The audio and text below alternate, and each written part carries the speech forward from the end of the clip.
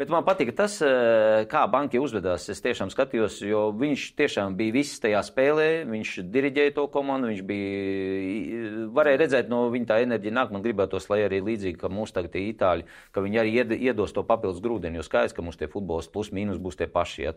Vai tu zini to sajūtu? Tā ir uzvara, un uzvara sākas ar drosmi. Ienāc pēc sevis un sajūti uzvaras garšu.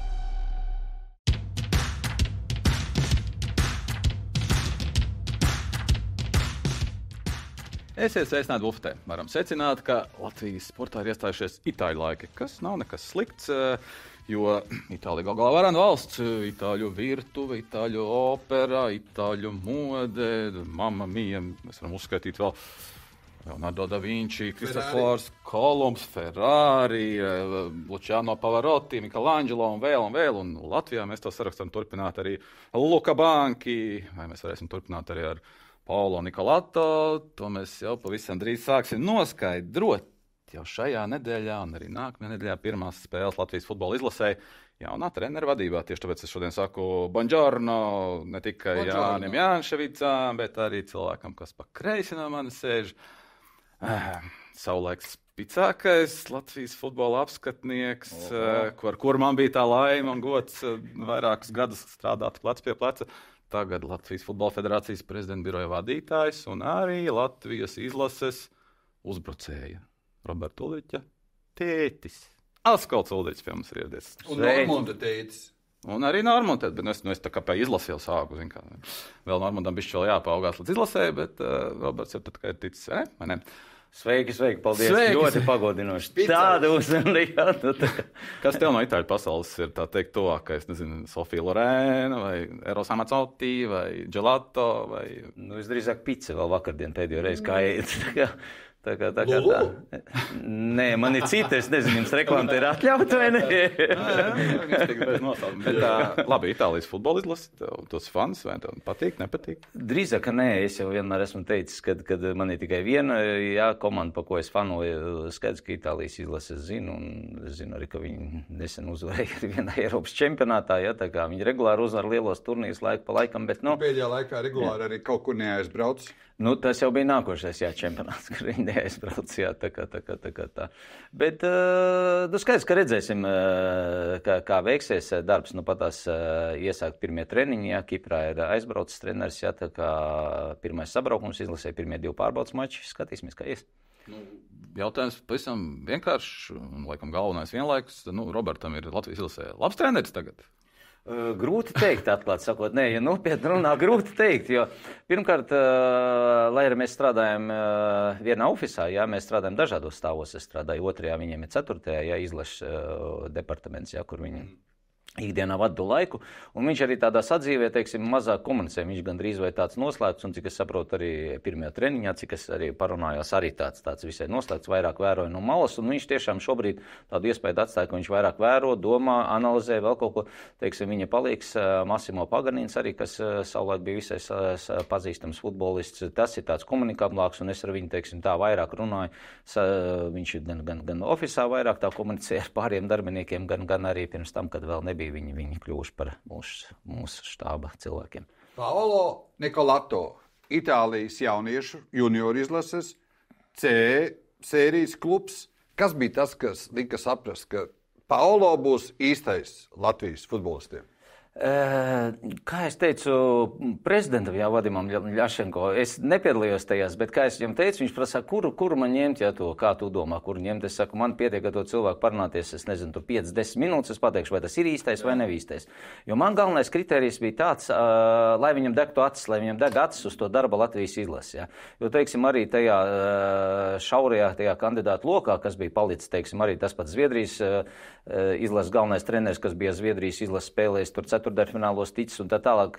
Pat tā varēja just no tām komunikācijas, jā, es esmu gatavs patrenēt jūsu izlasi, jā, nu, paskatīsies, šobrīd man nav ko darīt, jā, nu, tā. Tri, trivializējot nedaudz jau to situāciju. Lietuvietim Dambrauskam arī netik ļoti E, Nē, viņam varbūt arī deg, jo viņš Latviju labi zina, bet viņam ir drīzāk viņš ir tāds ikdienas darba lūdzu, kuram patīk ikdienā katru dienu to komandu vadīt un tā tālāk. Tāpēc es saku, varbūt tas Paulo Nikolatovo piemērs ir labāks, to, ko es jau pieminēju. Viņš ir tāds vērotājs, galvenās izlases galvenajam trenerim vairāk tāda vērotāja funkcija. Skaidrs, ka nometas laikā viņam ir citi pienākumi, bet viņam ir daudz jāvēro, jāskatās spēles, ko viņš arī dara. Viņš šobrīd pastāvīgi dzīvo Latvijā, jāiet uz visām spēlēm, kas ir iespējams pēc kārtas, ja tur, tur pat varbūt viens, divi izlases kandidāti tur spēlē, bet viņš tāpat tās grib redzēt, iepazīties, iespējami plašāk to loku, nu, cik mums tie futbolisti ir, ir bet nu, varbūt viņš kādu jaunu atkal saskata. Tā kā, tā kā tā, nu, arī tikšanās laikā federācijā viņš pārsvarā jūs vēroja, vai tomēr viņš izklāstīja kaut kādu savu vīziju vai programmu, vai kā,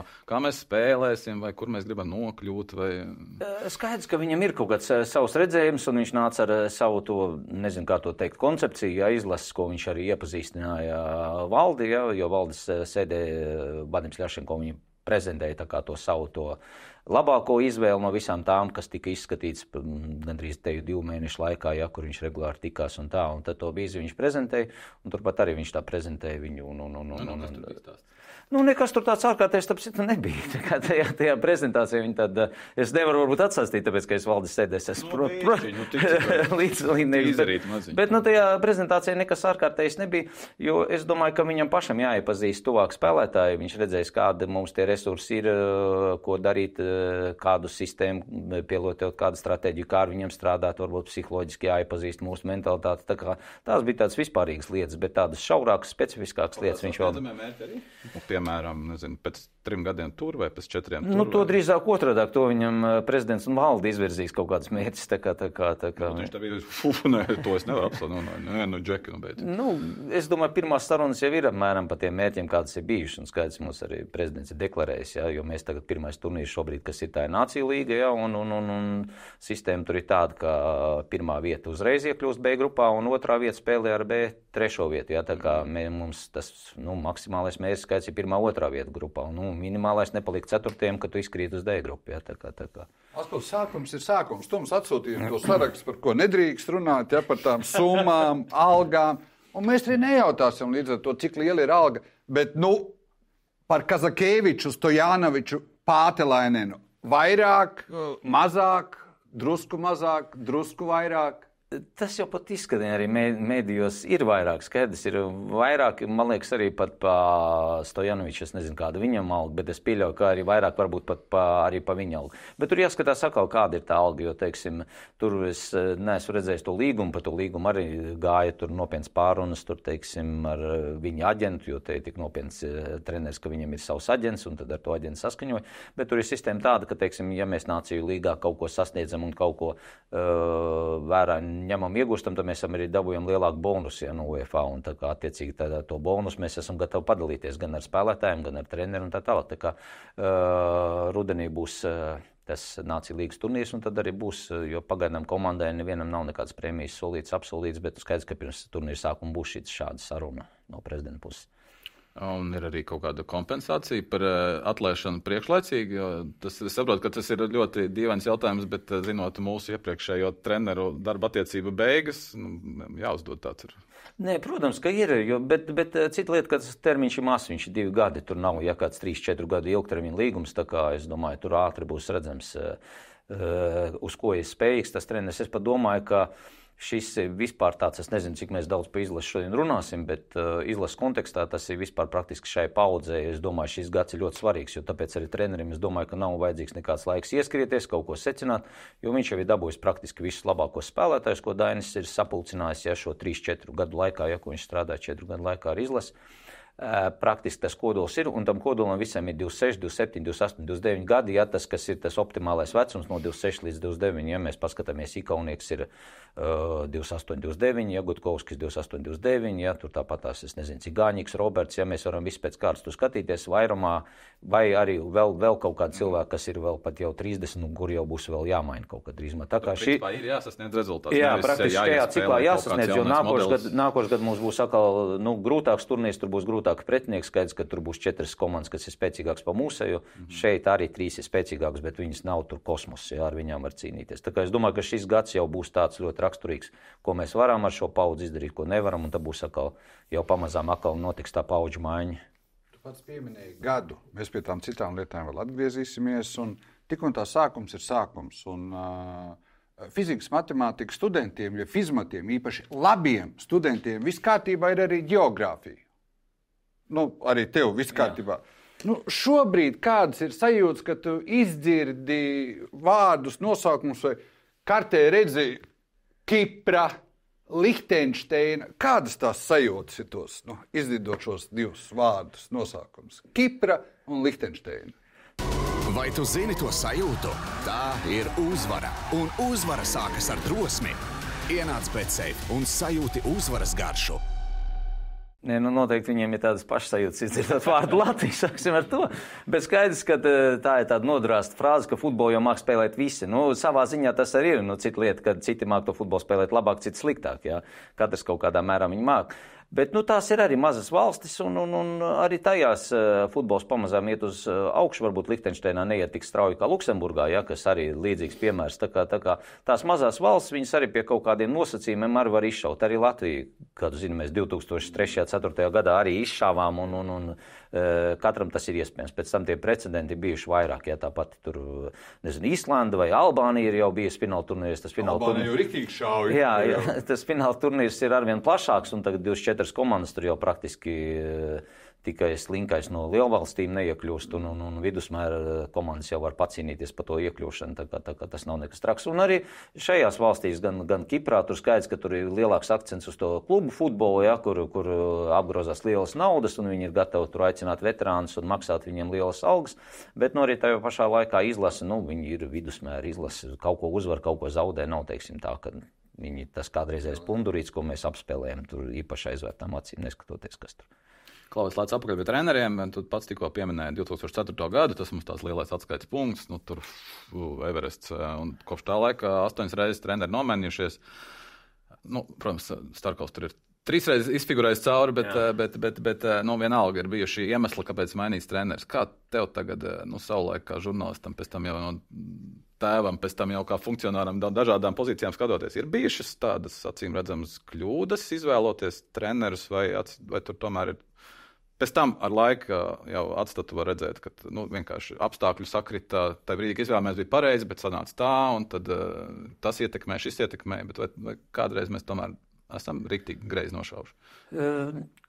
Protams, ir bijušas kaut kādas kļūdas, īpaši pēdējos tajos treniņos, kur mēs, kur mēs aicinājām. Ja, tas pats Miksūtām Pātalainens bija visai tāda apšaubām izvēle. Skaidrs, ka tur arī bija kaut kādas konsultācijas, bet redzot, teiksim, to darbu, kas tagad tika paveikts, ja, visu to treneru analīzi, ka sākumā tur bija kaut kāds paplašināts saraksts, pēc tam bija šaurāks 20 cilvēku, tad 5, ja, ka tur nopietna analīze gāja pa tiem treneriem. Tas bija, protams, un nākošais bija Stojanovičs. Ja, nu, tas tas nu, tiešām gal, galīgi neiedarījās. Skaidrs, ka varbūt viņš kaut kur kaut ko klubu līmenī trenējis. Un, Varbūt arī vēl trenēs, ja, bet, bet skaidrs, ka tās ir divas dažādas lietas. Tu atceries, vis raksturīgākais piemērs noteikti bija Džonsons. Ja, viņš Latvijas izlasē varēja kaut ko iedot, ja, bet viņš neiedeva rezultātu. Bet tajā pašā laikā klubu futbolā viņš sasniedz labas lietas Anglijā. Ja, jo to jau es arī viņam kādreiz teicu. Es jau biju viens no tādiem dedzīgākajiem kritiķiem, kas teica, ka viņu jāatlaiž, ka jāliek viņa vietā Starkovs. Ja. Un pēc tam arī Starkovs aizved mūsu izlasi jau ceturtajā. ja, bet bet uh, tā pašā laikā es teicu, ka Džonsons būs, viņš ir labs treneris, bet viņš nedara Latvijas izlasē. Ja, un tāpat ar šie, šie gadījumi, varbūt arī tas arī Miksu Pātalēnens, arī viņš arī vēl tur trenējis izlases, ir, bet, bet nu, viņš Latvijas izlasē nebija piemērots. Ja, tāpat tas ar Stojanoviču. Nu, viņš uh, grozīja tos spēlētājs malu uz riņķis šādā ziņā, šajā ziņā, nu, tā izlase tomēr nav kaut kāda caurstaigājumā sēta. Ja, tur ir kaut kāds noteikts spēlētāju lokus, ar ko jārēķinās. Mums nav Latvijā tik daudz spēlētāju spēlētāji, lai gadu laikā 40 spēlētājs mēs caur izlasi izlaistu. Jā, teiksim, nu, tas, tas, tas bija, bija pat raku.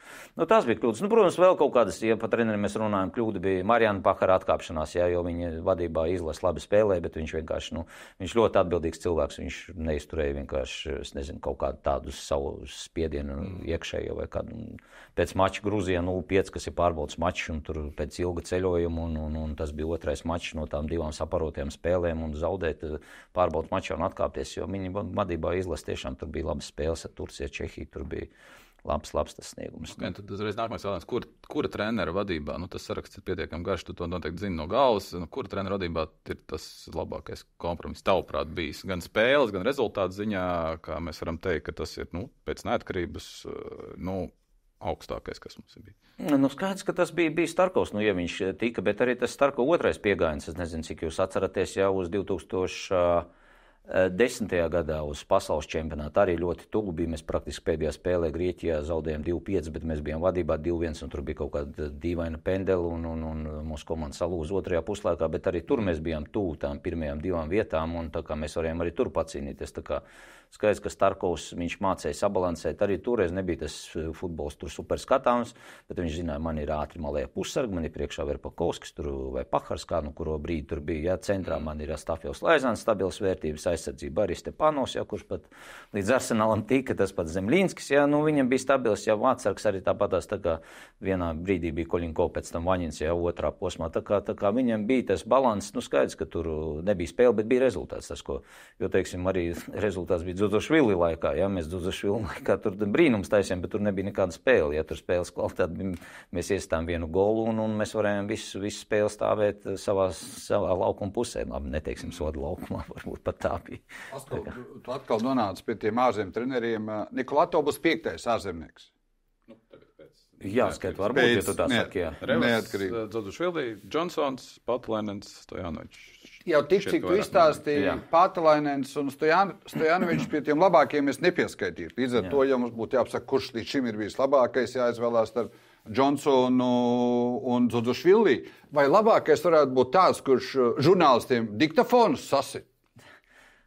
Nu, labi, nu, tas jau tāds, zin, kā uz emocijām daudz ko var izdarīt. tā kā- aprīs, atkal, kas tur Tā notiek? kā, nu, arī treneris, zina, kā viņam arī tomēr tas spiediens bija pārāk liels. ir par Džonsonu un tevi. jā, Kas tur? Skanto stadionā trepē. Jā, uz konta stadiona trepē. Ko tu paprasīji? Nē, es pat neko nepaspēju paprasīt. Viņš vienkārši ieraudzīja. Bet tur nebija nekāda arī ekscesa, jo tur jau tagad leģendas klīst, ka ti- tika sadauzīts brilles vai vēl kaut kas, bet tur vienkārši eh, no rokām izsēs diktofons un viņš tur aizlidoja kaut kas bijis saplīs. Bet viņš nākošā dienā atbrauc uz redakciju, atvainojās un mēs draudzīgi nofotografējamies. Un arī pēc tam viņš dažas reizes bija Latvijā un mēs ar eh, tādu humoru pārunājām, ja visu to gadījumu. Nu, darbs ir darbs. Nu, viņš darīja savu darbu, skaidrs, ka viņš arī ļoti pārdzīvoja, ka mēs esam arī no nospēlēm nešķirt viens viens, jo arī pirms spēles viņš stāstīja, ka mēs vēl turpinām cīnīties par iekļūšanu fināla turnīrā, ja, kur mums bija slavenā karikatūra, ja, ka viņš uz autobusu gāzē un, un, un bet autobusu stāv uz ķieģeļiem, tie uzliks bez riteņiem, bez nekā, bet viņš stāsta visiem, ka būs tuvu fināla turnīrs.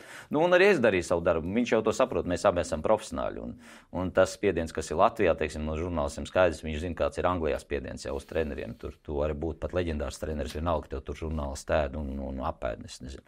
Tā kā neskatoties uz visiem teviem iepriekšējiem. Labi, viņš savu darbu padarīja, ne, nu, varbūt ne kā treneris, bet nu, tādā, kā, kā tilts uz Angliju. Es pieņemu, ka tas Bet tad labāks Džordžs vai Džonsons Latvijas izlasē? Uh, Redzi, ko mēs skatāmies uh, pēc rezultātu? Skaidrs, ka Dzodošvili, jo arī Dzodošvili uh, vadībā, ka mēs bijām, ka viņš aizgāja projām, ja mēs arī tāpatās mēs pretendējām uz to otro vietu. Toreiz otro vietu grupā dabūja Slovenija, un tā vēl Slovenija nebija tāda, kas tur jau vairākas reizes spēlējas fināla turnīros, bet tāda Slovenija, ko mēs varējām apspēlēt un viņu vietā aizbraukt. Ja? Bet sanāca tā, ka Dzodošvili saņēma piedāvājumu no Saudārābijas, atnāca Džonsons un cikla vidū sāk kaut ko mainīt un, un samainīja uz slikto pusi. Ja? Bet cita lieta, ko mēs gribam ja, no tā izlases trenera, mēs no viņa gribam rezultātu, ko sasniedz Latvijas izlase, vai rezultātu, ko sasniedz varbūt viss Latvijas futbols. Ja? Un Džonsona vadībā bija tas rezultāts, ko sasniedz viss Latvijas futbols. Ja? Tur bija laikā bija Stepanovs, bija. Blēdelis, ja? Koļinko, Rubīns, ja? visi šie skaidrs ar kaut kādu viņa svētību arī nokļūtie Anglijā. Ieniek protams, to līgumos rakstā izlases rezultātu, ieskaitot pēdējiem treneriem. Nu, arī kāds tam trenerim ambīcijas. Varbūt arī trenerim, zini, kā, varbūt viņam ne- nav tik svarīgs tas rezultāts, bet lai viņam būtu pilna kabata un, un, un viņš būtu pastrādājis, teiksim, kā aģents. Ja, jo, jo, nu, es ne- nezinu, nu, tu jau pats zini, kā, kā ir sportā. Arī Stojanovičs mēģināja šo ceļu iet, bet nu, viņam nesanāca, varbūt viņš tik labi, jo viņa laikā nu, neiznāca neviena. Tāpat viņš tur, teiksim, lika, es negribu varbūt saukt, vai var nosaukt, tur Karašausku lika, jā. Nu, skaidrs, ka viņš tur talantīgs, bet viņš, teiksim, klubā nespēlē un viņš viņu liek izlasē, jā. Tas pats Daniels Untužans, jā, tas ir, nu, vienkārši tāds PR gājiens, jā, cilvēks vēl nav nobriedzis, nacionāli izlasē, nu, kur viņš tagad ir, jā, viņš jau nekur nav, jā, pēc tam vienkārši varbūt pārāk ātri viņu iemetēja nacionāli izlasē, viņš būtu varbūt 21 spēlēs attīstījies, bet viņam bija vajadzīgs tāds PR gājiens, reku mums ir cilvēks, viņš tur ir Bavārijas akadēmijā, vēl kaut kur vienkārši, lai novērstu varbūt eh, kaut kādas teiksim, tās, tās, tās eh, žurnāla skatienus vai sabiedrības skatienus uz tām izrases rezultātiem, problēmām ar kaut kādu PR gājienu, un hopā, visi runā par to, ja teiksim, ne par tām problēmām. Vai tu zini to sajūtu? Tā ir uzvara, un uzvara sākas ar drosmi. Ienāc pēc sevis un sajūti uzvaras garšu. Labi, ārzemnieki kārtībā uztver pirms pāris nedēļām Jurģis Kalns sēdēja un teica, ka principā, bet tad latviešu trenerim arī tur būtu nekāda vaina nebūtu. Ar tavām acīm tu redzi kādu kandidātu, kas šobrīd būtu spējīgs? Šobrīd baigi grūti pateikt. Man liekas, ka šobrīd īsti nē. Jo, jo, kāpēc nē? Jo arī tajā pašā nu, paplašinātajā sarakstā bija arī tas pats Jurģis Kalns, jā, bija arī, arī, arī Viktors Moros bija, bet es domāju, ka Morozam šis gads ir ļoti izaicinošs, tāds interesants tieši Eiropas kontekstā, jo, kā zināms, Eiropas šobrīd sistēma tāda, ka tas čempions var visai, nu, nu, visai viegli pārvieglinātu ceļu tikt tajā grupas turnīrā. Un skaidrs, ka tas viņiem ir liels mērķis RFS komandai. Un skaidrs, ka viņiem arī gribētos, lai Moros paveic to darbiņu, ko viņš izdarījis ja, pagājušajā gadā, un tad arī pabeidz šogad. Bet par uh, vietējiem treneriem runāt, es domāju, šajā ziņā pat interesants bija vēl viens federācijas lēmums, ko mēs pieņēmām uh, nesen martā. Viktor Dobrits jau ielika pa U19 izlases galveno treneru. Lūdzu, ja, tev ir U19 izlases komanda, pie tām viņš uzreiz tika ie, ie, iesviests tā kā kaķēns jūrā, ja, izpildēs vai neizpildēs, tāpēc, ka viņam tūlītās marta beigās jau ir U19 elites kārtas sacensības. Ja. Pirms tam bija Čehu treneris Jakubs Do- Dovalils, viņš uzvarēja kvalifikāciju, nu, uzvarēja iekļuvu no kvalifikācijas kārtas elites raundā, un tagad ir elites rauns, un Viktoram praktiski, ja, cilvēks, nu, Tas ir liels izaicinājums, kā tu nospēlēsi tajā elites raundā. Skaidrs, ka tā ir izlases specifika. Viņš nezina to spēlētājs tik labi. Viņam ir savu grobiņu, viņš spēlē pirmajā līgā, tagad virslīgā. Jā. Tur ir pavisam cits kontingents, jā. kā tu to sev parādīsi. Un, lūdzu, pirmais pārbaudījums. Labs, interesants vietējais treneris. tā kā Paskatīsimies, kā viņš izies. Tā kā Viņš šobrīd praktiski arī Kalnu, Morozu un visus šos pārējos teiksim, nu, parādīs, uz ko, ko mēs esam spējīgi, ja tie vietējie treniņi. Tā kā, tā, Nu, tāds Vietējais treneris izaicinājums. tātad jūs metat jūrā kā kaķēns, un ārzemniekiem ļaujat sēdēt ceturtā stāvā un klusēt. Ja? Nē, nē, nē, klusēt par klusēšanu. Kas ir ar to angļu valodu? Nemāk, kautrījās, drusku māk.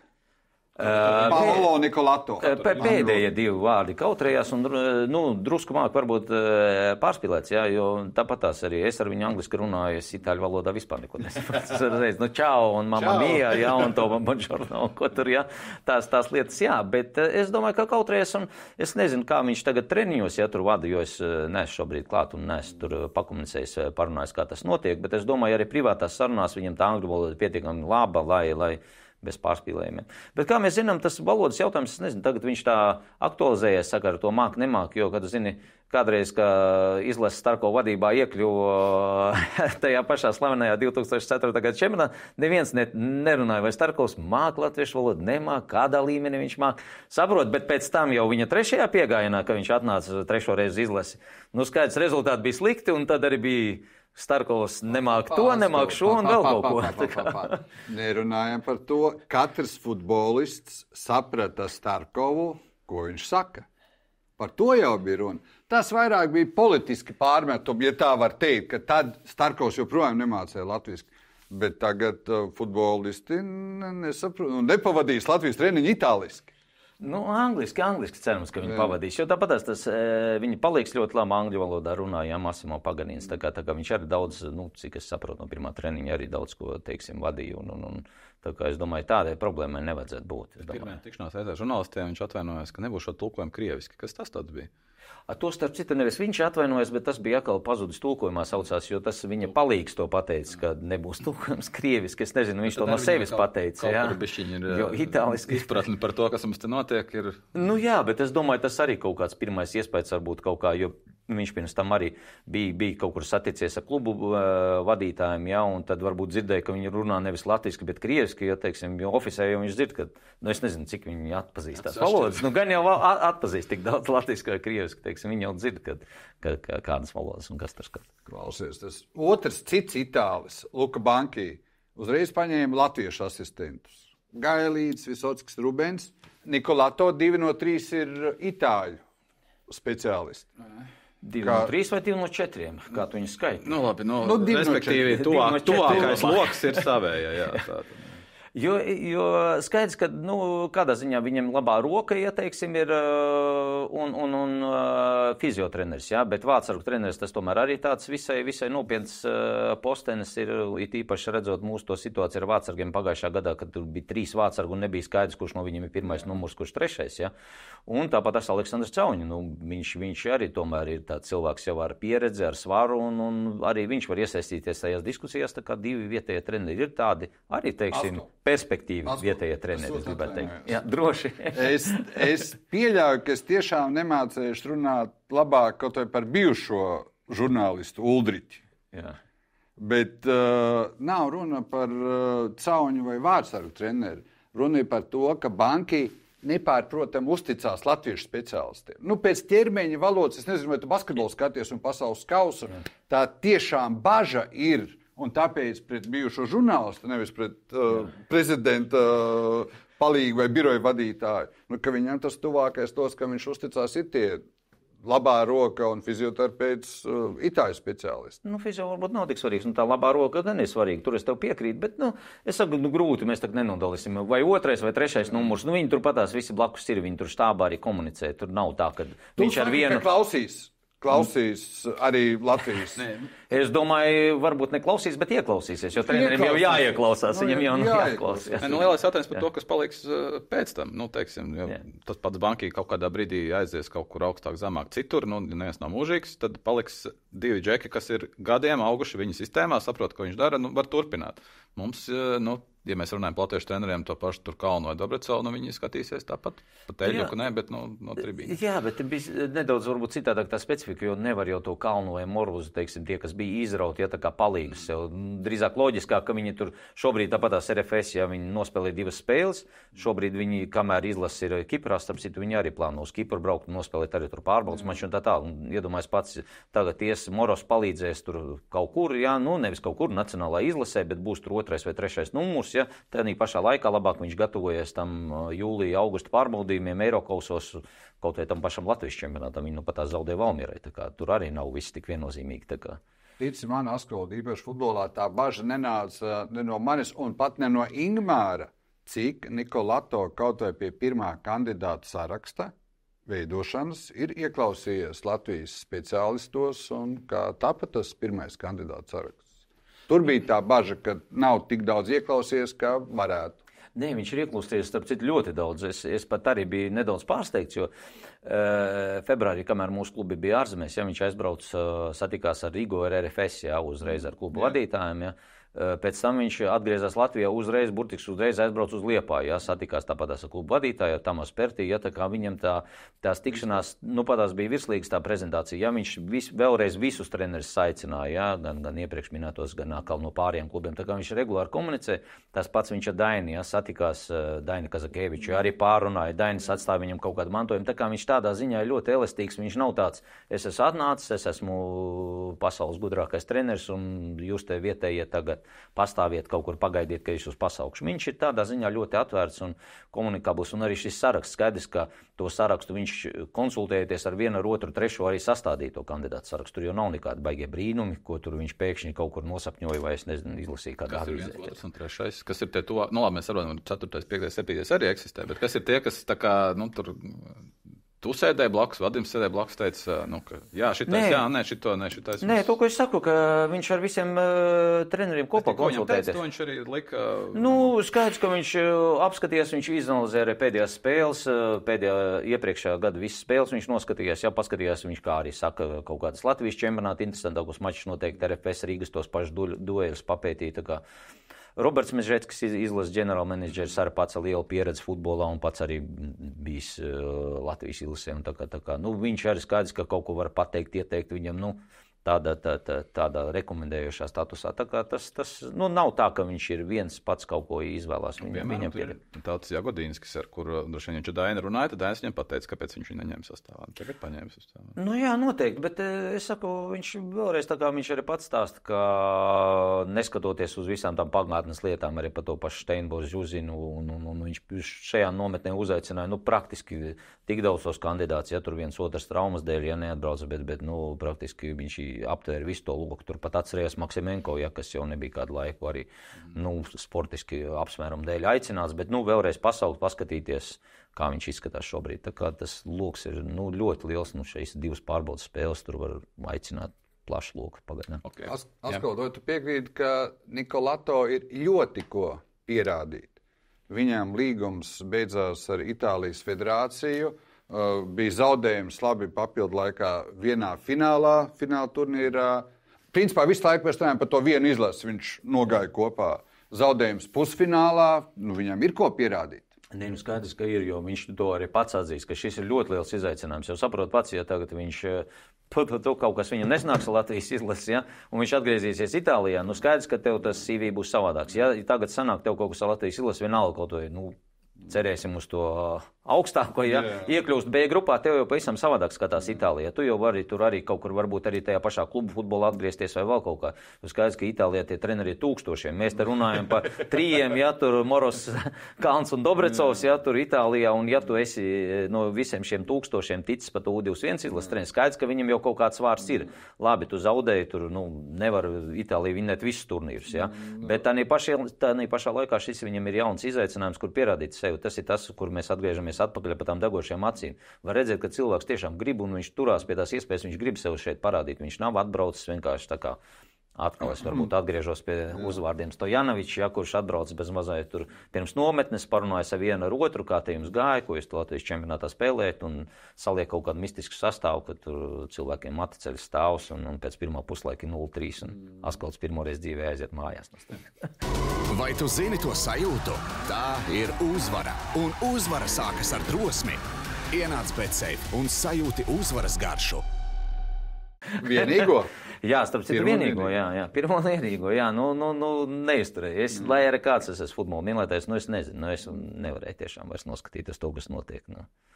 Klau, klusētājs, klusētājs, ceturtā stāvā sēž, bet uh, tie paši Bobs Hārtlīs, lai arī kādas tagad būtu tur pēc garš, pēc viņa tas pats bankīna, nu, viņiem ir, ir līdzās Latvijas izlases vadīšanai bija tomēr arī kaut kādas citas, uh, citas pienākumi, nepienākumi, bet vismaz uzticēts vadīt seminārus, kaut kādas treneru klīnikas, kaut kā izglītot, stāstīt ar kādu sistēmu, tad viņš šeit nāk un kādu vīziju un kādu filozofiju. Uh, Nikolato ir kaut kas tāds plānā ar saviem asistentiem, viņi kaut ko tādu darīs vai joprojām valoda traucē un labāk nē. Nē, es domāju, ka viņš iesaistīsies. Tur jau ir tā lieta, tas arī viens no tiem aspektiem, kāpēc eh, izvēlējās Nikolātu. Tāpēc, ka viņš eh, pastāvīgi būs visu laiku Latvijā. Un skaidrs, ka ko, nu, pastāvīgi, cik tā, mums tās spēles ir un kas, kas, kas nav. Nu, skaidrs, ka viņš būs tajā pašā izlaša departamentā, viņš tur būs. Viņš ikdienā apmainīsies un uh, interesēsies noteikti arī par U21, U19. Starp citu, tagad U21 drīzumā spēlē Itālijā. Jā, mūsu jā, ar Itāļiem. Tā kā, tā kā noteikti viņš arī to spēli noskatīsies, un gan jau arī tam U21 trenerim arī pateiks kaut kādas savas idejas, domas, jo tas ir viens no tiem svarīgajiem punktiem, ka viņš būs Latvijā. Nu, Es nezinu, kā tas izpaudīsies, varbūt tā semināra un lekcija vēl kaut kāda lasīšana, bet es domāju, noteikti, ka viņš tiksies ar treneriem un pastāstīs, ko, ko viņš gribēja Latvijas izlasīt tajā vai citā mačā izdarīt, un kaut kādas varbūt tādas. Es nezinu par to metodisko visu sadaļu, tur jāskatās, jo mums ir sporta direktors Andrejs Glušķuks, kā viņš cik cieši sadarbosies, bet arī zinot Andreju, ka viņš arī tomēr mīl visādus kursus organizēt, visādas nodarbības, ka noteikti gan jau arī viņš to Nikolatovu kaut kādā veidā ieraus visā tajā jā, procesā, un, un noteikti, tā būs tā pievienotā vērtība arī, ko viņš atstās, teiksim, atšķirībā no kāda cita kandidāta, kurš bija gatavs, nu, tikai tā, pastrādāt ar izlasu un viss, jā, tur atbraukt uz Latviju. Asko, tu pieminēji Steinboru un Zjuzinu. No futbola puses, no futbola sabiedrības, no futbola vadības. Tur bija pārmetums Edmundam Novickim, ka vispār pacēla to jautājumu.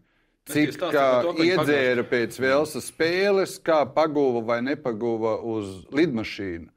Kad tur Edmundam Novickim tika pārmests un uzdots publisks jautājums, cik ļoti Novickis mīl futbolu, ka tas bija jāatstāj nu, bez publicitātes. Grūti nokomentēt man tiešām šo te, jo, redziet, es jau ar kā bijušais žurnālists ā, arī mīlu visādas tādas, mīlēju, nu, tādas, tādas kaut kādas interesantākas, karstākas informācijas. Varbūt tur nebija kaut kā tas ā, pateicīgākais veids vai pateicīgākais laiks. Nu, es nezinu, jāskatās viss tā situācija, jātin tā ā, filma apakaļ, kas tur bija. Bet, nu, Ir jārunā vai nav Tu jārunā? kā žurnālists savā laikā būtu to ir rakstījis? jārunā, bet varbūt man nedaudz, eh, es nezinu, kaut kā tā nepatika pa, pa skaļi teikt, kā Dainis nokomunicēja par to jautājumu. Viņš teica, es viņus izmetu un viss, ja, bet viņam varbūt vajadzēja, jo es domāju, ka viņš varēja šajā situācijā dabūt vairāk plusus, ja viņš, nu, atklāt pateikt, tur bija tas, tas, tas, un es izdarīju to un to un to. Un žurnālisti jā. viņam aplaudētu, ja teikt, malacis, jā, ka tu tā izdarīji, ja, teiksim, pēc visām šīm lietām. A, viņš pateica, nē, es par to nerunāšu, un žurnālistiem arī uzreiz tāda pretreakcija bija šajā situācijā, un no, nu, arī tam pašam Edmundam un, un, un, un es zinu, arī citiem, ja, cik es runāju, ka, ka nu, tā vieta, kur tu varēji dabūt kaut kādu pozitīvu piāru, tieši otrādi tu nobremzēji un, un, un, un tā lielā bumba tikai sāk palielināties Daņa virzienā. Tā nebija vienīgā neveiksmīgā komunikācija. Vispār nespriežu par Dainu Kazakeviču treneri. Tā nebija vienīgā neveiksmīgā komunikācija. Nu jā, tā, tā varbūt bija, jo tas jau tāds uh, senāks jautājums. Tad vēl es federācijā nestrādāju, kad tas izveidojas. Es jau kā atnācu, es arī tā pabrīnījos. Uh, jo viņam preses cilvēks bija Viktors Sapirins. Cepuru nost, nu, cilvēks tiešām viņš organizē augstu līmeņu pasākums. Iztaisīs jebkuru tev maču, jebkuru turnīru pa konfekti. Ja? Tu atnāks un tu būsi priecīgs. Ja? Viņš, viņš tā pasākumu organizētājs. Un viņš mums strādāja, teiksim, projektu nodaļā. Ja? Tā pašā laikā mums ir mārketingu un, un Un komunikācija nodaļā strādā četri cilvēki. Un Dainis nevienu no četriem neizvēlējās. Viņš izvēlējās Viktoriju. Arī Viktoram ir pieredze ar mēdījiem un tā tālāk. Bet Viktors ir varbūt nedaudz savādāks. Viņš ļoti mīl ievērot teiksim, visādas likumus, reglamentus un grib, lai viss notiek pareizi, smuki, skaisti, pedantiski. Ja, teiksim, un Dainis varbūt arī kaut kā tā pavilkās visam tam līdzi un arī pats ļoti tā to visu gribēja. Jo varbūt, ja viņam būtu blakus kāds radošāks cilvēks, ja, Es nesaku, jā, jā, kas iz, iz, izprot varbūt to situāciju. Jo tad varbūt arī tā izlase un arī pats Dainis būtu mazliet citādāka presa. Un tas arī tagad ir, jo tagad atkal uh, situācija atnāca no Nikolato jau, un viņam ir cilvēks piestiprināts no komunikācijas de departamenta. Īļa Poļakovs, ja, kas ir strādājis par žurnālistu, kurš tieši strādā komunikācijas nozarē. Tagad viņš ir. Nu, redzēsim, kā viņiem tas, tas viss mēdī darbs veiksies. Bet nu, es vēlreiz negribu kritizēt Viktoru kaut ko, ka viņš eh, nav profesionāls, jo viņš ir savā jomā ļoti liels profesionāls. Es saku, viņš rīko mūs visus tos pasākumus arī tagad. Mums ir eh, gan futzālā pasākumi, gan tūlītās ir izlasēm spēles. Viss, viss tas, kas notiek apkārt, tas ir viņa, viņa darbiņš, un tur ir super cepura monos, tur mums ir atzinības no UEFA, no FIFA, no visām organizācijām. Vai mūsu futbolisti nav pārāk pasargāti no mēdījiem, paslēpti īpaši? oficiālo spēļu ap oficiālajām spēlēm. Netiek klāt viesnīcā, Nē, ir sācies nometne. Tas... Nu, tas, tā, tas tā sanāca. Es saku, tajos laikos. Es nezinu, kā būs šobrīd. Ja, jo šobrīd viņiem praktiski nu, tajā viesnīcā sanāca viena nakta pārgulēja. Daži pat neatbrauc uz to viesnīcu un uzreiz agri no rīta svētdienā aizlidoja projām. Ja.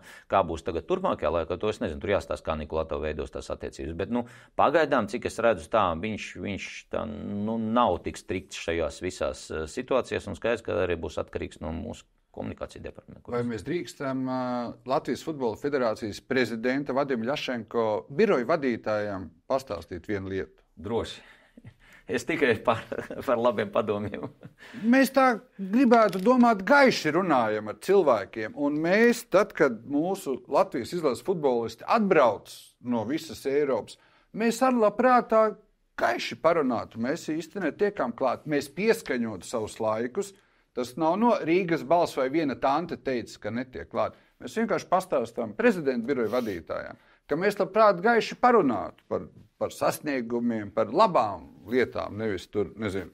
Cik kurš izdēra glāzes ūdens? Arī ar Robertu Ulriču kādreiz parunājām. Vai Nē, droši vien viņš jau teica, ka viņš būs, tad, tad droši viņš atnāks jūsu radījumu, jo viņam ļoti patīk, kā jūs runājat par uh, sporta lietām. Viņš arī ir jūsu domu biedrs, ka, ka ir prioritārie sporta veidi, un kas tikai mums nav jāsadala. Tā kā, tā kā viņš, viņš saka, ka tās tēmas ir ļoti pavasara jā, jā, pierakst. Jā. Jā.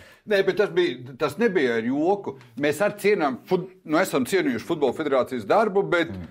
iepriekšējā vakarā ielidoja visbiežāk, un tad ir nometne un netiek klāt. Un pēc spēles, kad atbrauc atpakaļ, tas ir izbraucis ir prom, mēs uh, netiekam klāt futbolistiem.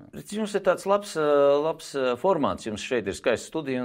Ja jums šī studija būtu Jūrmalā, Lielupas viesnīcā, es domāju, tā būtu vieglāk visu, visu, visu to nomenedžēt, sataisīt. Bet tā sanāk tagad futbolos, viņš tur atbrauc, varbūt tur nolidojas tur kādas 3-4 stundas lidmašīnā, pēc tam viņam vajag paēst vakariņas, vai aiziet uz treniņu. Pēc tam Askolt, kā... Askolt nestāst tāds darbs Tā kā tu pateici, kāds spiediens ir treneriem, Anglijā un kāds Latvijā.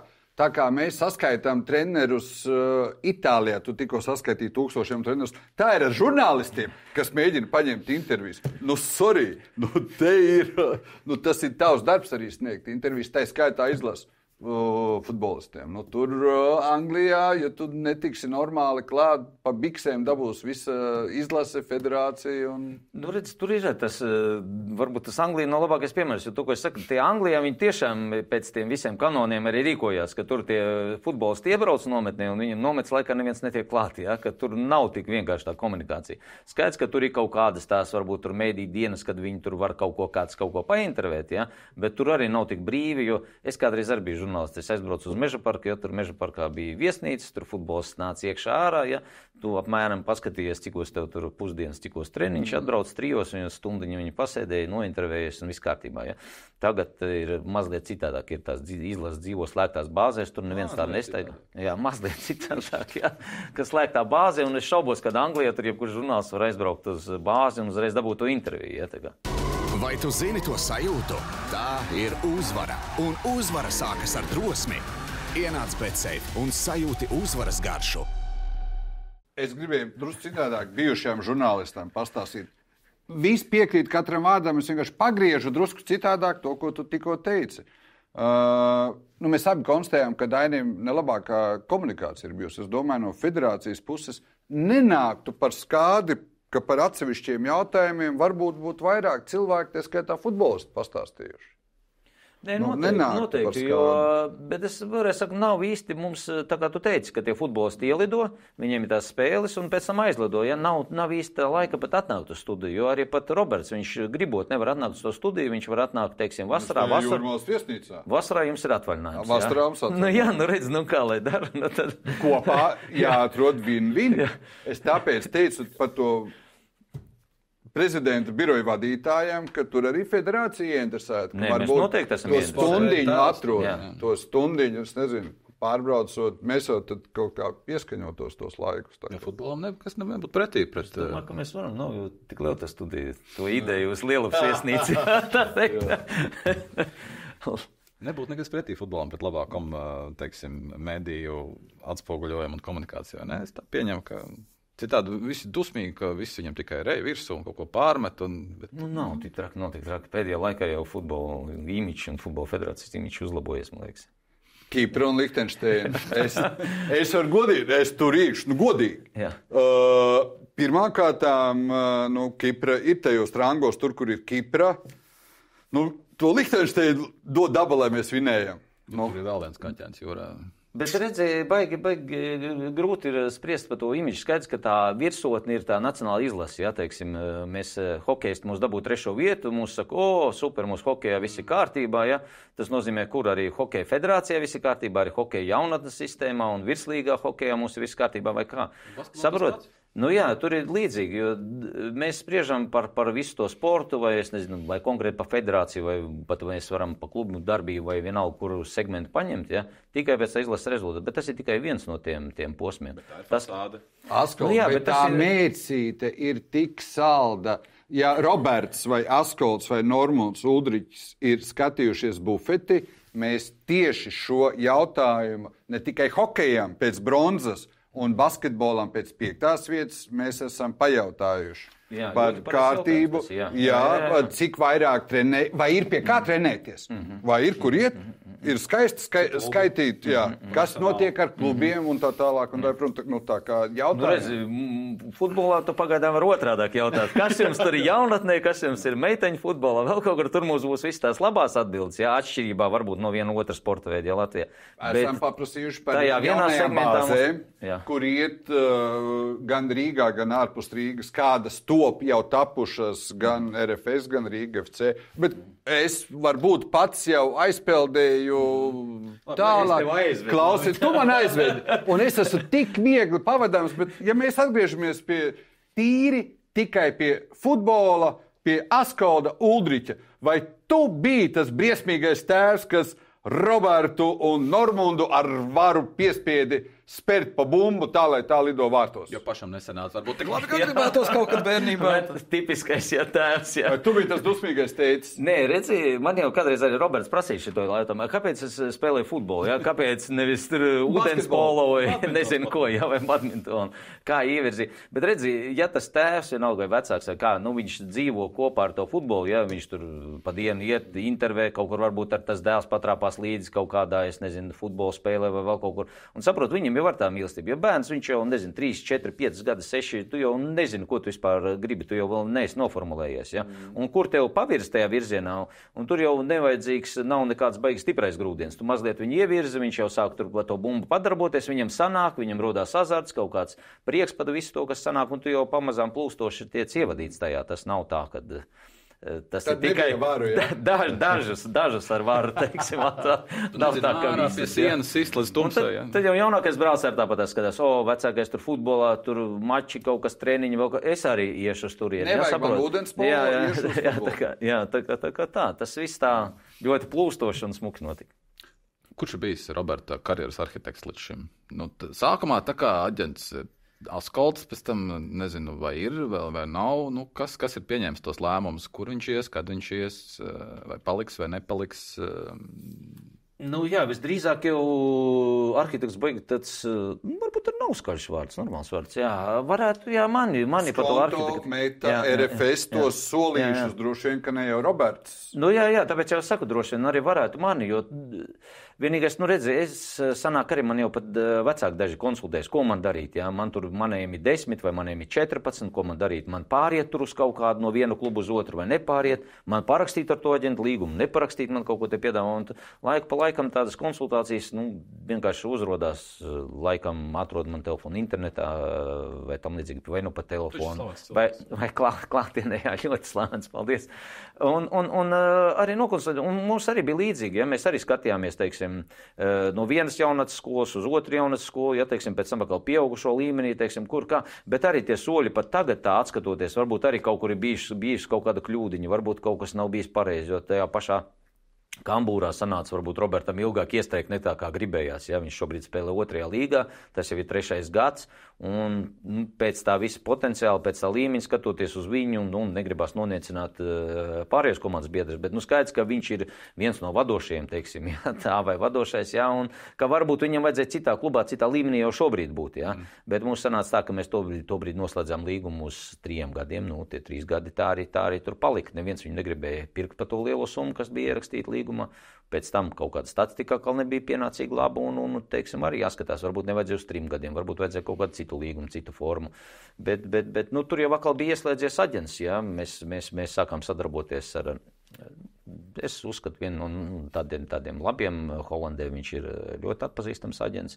Viņš bija kādreiz Vīnaldumam, nu arī ir aģents, ja viņš kārtoja visus šos lielos darījumus, kur bija no Liverpools, viņš pārgāja uz Parīzes Žermēnu, pēc tam no Parīzes Žermēnu uz Romu, tad no Romas uz Āziju, kur viņš tur kaut kur Saudārābijā vai kur tur pārgāja. Tā kā, tā kā nākošais viņam ir prospekts, tagad ir Ajax centra aizsarakstāts arī Hato, tāds ļoti talantīgs, laikam 17 gadi, ja nemaldos, tur arī medī ļoti daudz, daudz klubi. Nu, viņš strādā, teiksim, arī ar tādiem lieliem, lieliem top spēlētājiem.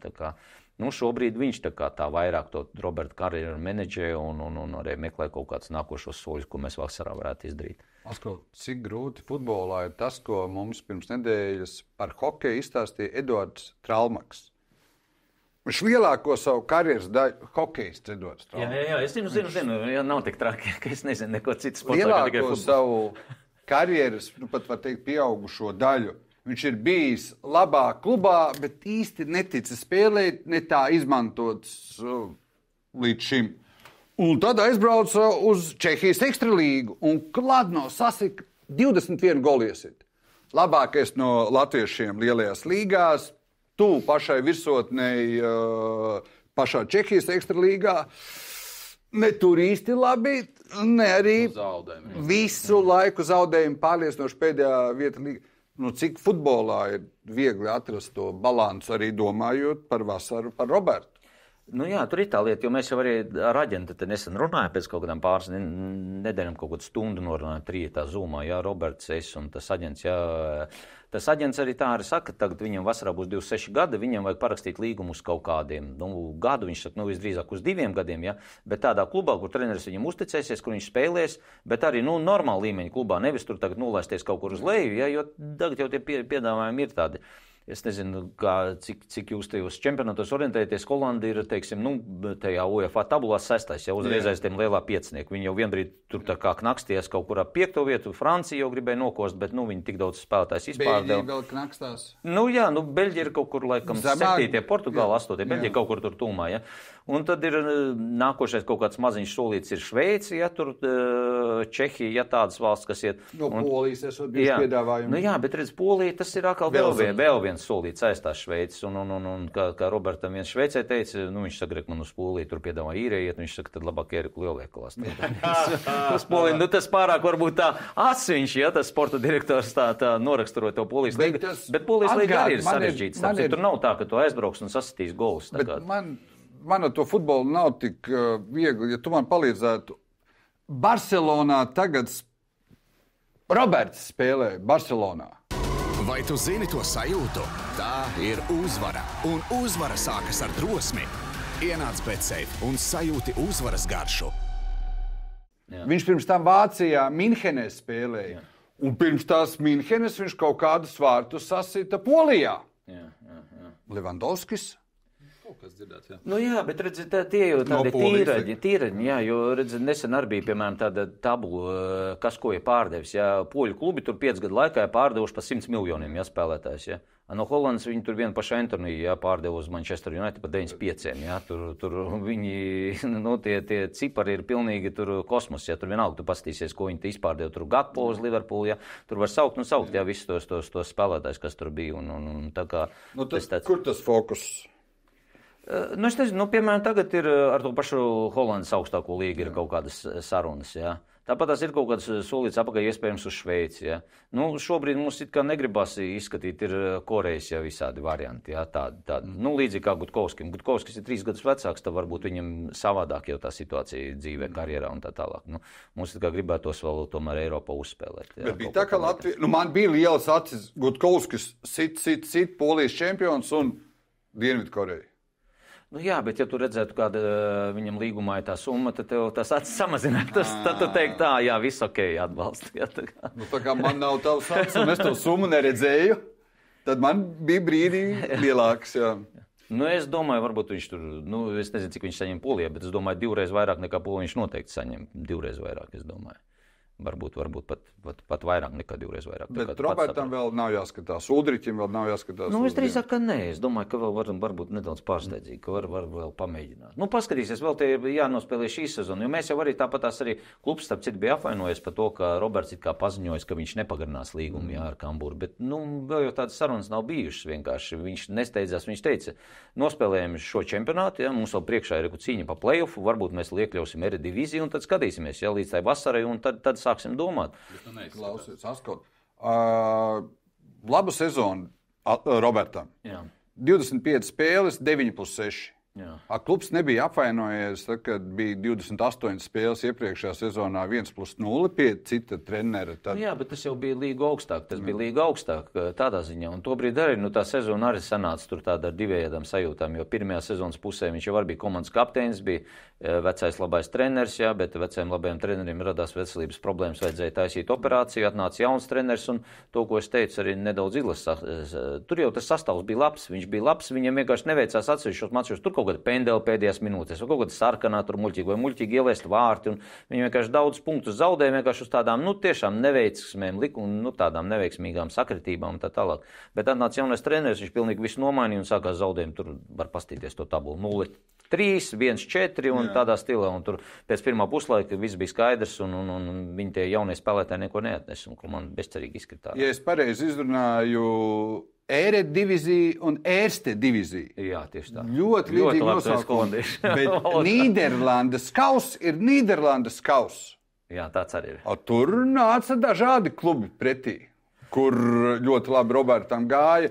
Un drusku, drusku pietrūka, lai spēlētu vēl tālāk, vēl pēdējā spēlē, papildu laikā. Es klausoties tevi, sāku, kas ir tie, jo Roberts savainoja tieši, tieši to vietu, apmēram, kuras pagājušajā. Jā. Nē, sanāca arī atkal tāda neveiksmīga epizode. Viņi spēlēja ar vienu no augstākās līgas klubiem, Nīmengans Nets, viņi kaut kādā tur 6. 7. vietā kaut kur arī tur patās netālu no Ajaks ir. Bet, bet, bet uh, epizode bija tāda, ka viņš galvu sita, varbūt arī to vargumu redzēja, un, un, un Silesens Vācāks izlec augstu, augstu ar ceļgalu, un viņam tas punkts bija riktīgi liels, bet viņš jau turpināja, nu, viņš jau cīnīties vienmēr bijis, viņš turpināja spēlēt, bet, nu, diemžēl spēle ievirzījās pagarinājumā, nu, viss tu jau jūti, ka uh, tev jau galva ar vien pilnāk paliek. Jā, jā, nu, es saku, nu, tajā epizodē iesit un, un tieši, tieši samainojās, un, un, un arī pēc tam viņš arī nākošajās spēlēs vēl tā pagrūt, kamēr tas punkts, kamēr viņš viss te iziet zilumi, te uz leju un iziet no organisma. Tā, kā, nu, tā pašsajūta mm. nebija tā labākā. Bet skaidrs, ka tas bija klubam ļoti liels izaicinājums. Arī trenerim tas bija, jo e, Kambūra vien, vienreiz ir savā vēsturē spēlējis pusfinālu, bet finālā līdz šim nav bijis. Un tagad atkal nu, ļoti tuvu viņi bija, kā līdz pagarinājumam tika, bet diemžēl nu, viens, divi zaudētajā tajā mm. pagarinājumā. Tā kā tas, tas, tas bija tiešām tāds. Robertam labākā sezona varētu teikt karjerā. Nu, tā kopumā. Šī? Nu, vismaz pēc cipariem ir jautājums, kā ir. Bet, nu, okay, mēs saprotam, ka pagājušajā gadā bija ļoti slikti. Un nu. šogad ir ļoti labi. Skaidrs, ka treneris jautājums un skaidrs, ka ir līgas spēka jautājums. Vai ir kaut kādi citi? Jā, nē, nu, drīzāk, ka nē, jo viņš jau sezonas pirmajā pusē arī bija tas uh, treneris, kurš viņam neusticējās, un to viņš arī, teiksim, nu, maz, maz spēlēja, un maz arī sita, un, un komanda arī mīcījās pa tabulas vidusdaļu. Te jau drīzāk, ja Holandē salīdzina šīs trīs sezonas, tad pirmā bija vislabākā, ka viņš atnāca, kad jau čempionāts bija sācies ka tas mans pieminētais aģents viņu ieteica, un mēs praktiski parakstījām pēdējā transfera dienā, 31. augustā, to līgumu. Un, un, un, un, Tad viņam bija septiņi goldi 21 spēlē, laikam, ja es pareizi atceros. Tā, kā, tā, kā tā bija laba, un arī klubs bija augsts 9. vietā visu laiku labākais sasniegums. Ja tur pēc sezonas viņus uz rokām nesēja, un, un, un visi, visi bija sajūsmā. Ja? Es domāju, ka tā bija noteikti labāka nekā šī. Bet, nu, redziet, šī sezona vēl turpinās, vai jau var kaut ko vēl sasist. Tā kā, tā kā, ja turpinās uz, uzticēties, tā kā nezinu. Jo, jo, jo tas, tas viens mačs, kurā viņš te izlaida, tāds, tāds uzticības zudums, nezinu, jāskatās, kā būs. Kā jaunākie brāļi visbiežāk tomēr ir ja ne talantīgāki, tad mērķiecīgāki un, un, un, un, un rūdījums viņiem ir lielāks augot. Tad mēs varam, nezinu, Bartāni, tur Valteri, Porziņi, Strēlnieki, šiem te paši ikaunieki pieminētie. Kā ar Uldriķiem? Nu, ar Uldriķiem pagaidām tā ir uh, otrādāk, ja, jo, jo tas Normons ceļš nav ar tik vienkārši. Viņš arī, teiksim, savā bērnībā arī bija, nu, teiksim, interesants perspektīvas un tā, bet uh, viņam varbūt arī pietrūkst kaut kāda asuma mērķiecības, vēl kaut ko, jo viņš arī kādreiz līdzīgi tā kā Roberts bija centra pussargs, ja, un Roberts eh, savas karjeras laikā no tā centra pussarga pārvirzījās pa uzbrucēju. Ja. Normāli gadījumā bija otrādāk, tāpēc, ka viņam varbūt bišķiņ tā asuma maz ar pietika, viņš pietrūka, viņš mazliet, mazliet uz leju, ja, pa balsta pussargu, tad jau beigās pa aizsargu, ja, un, teiksim, aizsargiem atkal citādāks varbūt tas, tas raksturs ir vajadzīgs. Un, Bet nu, arī jāskatās, tur ļoti grūti arī tas, eh, kā tu teici par to arhitektu, jā, kā to karjeru vadīt. Jā, pieci gadi metā pavadīti, uz kurien iet. Jā ja mēs dziļāk papētītu to Latvijas čempionātu, nav nemaz ar tik daudz vietas, uz kurien aiziet tam 22 gadus vecam futbolistam. Ja? Jo Rīga RFS tiem ir citi budžeti, un tur tā 22 gadu uh, vecam tur jābūt, es nezinu, kādam, lai tu spēlētu, ja pamatsastāvā tagad pat Daškevičs, ja netiek, kas ir Latvijas ilas spēlētājs, tuvu tū, pamatsastāvam vai rotācijai vai kur. Tas pat netiek, ja tā kā, tā kā nākošie, kas mums ir, Valmiera, Auda, Liepā, ja, un no šiem trim variantiem Liepā ļoti gribēja, ja Tamas Liepā bija gatava par viņu samaksāt transferu summu, ja metē, un skaidrs, ka metē arī bija priecīgi, kad, kad kaut ko nopelnīt un atkal ražot savus nākošos spēlētājus. Bet arī, redziet, nu, tas, tas futbols arī grūti prognozējams. Ja? Starpsezonu periodā tu kaut kur tur komandā esi, tajā apritē esi regulāri spēlē. Un treneris trīs dienas pirms čempionāta sākuma paņem eh, citu, jā, centra aizsargu un viss. Un tu jau tajā rangā atvirzies no tā pirmā pie... pat pieteikumā, un otrā spēlē rezervē, man liekas. Nē, nu viņš abās rezervē, abās Ā, rezervē. Pirmajās kārtās bija, jā, tā kā, tā kā, un tas, tas teiksim, 31 gadu vecs austrietis, jā, skaidrs, ka viņš šobrīd uz kaut kādu pieredzes rēķinu ir spēcīgāks, viņš tur spēlēs otrā Bundeslīgā vēl kaut kur, jā, tā kā. Un, un, un šeit tev ir vietējais spēlētājs, un atkal no tā tam maz prasa to rezultātu. Nu, viņam jau neprasa, vai tu izaudzinās mums te pārdošanai spēlētāju, ko mēs te pārdosim pa 200 vai 300 tūkstošiem. Ja?